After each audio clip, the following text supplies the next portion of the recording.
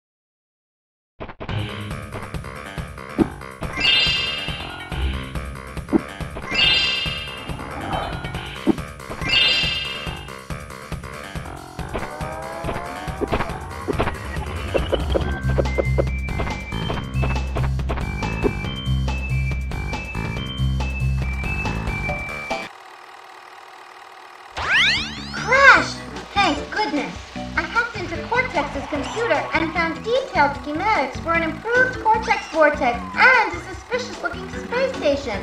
I'm not sure, but Cortex might be trying.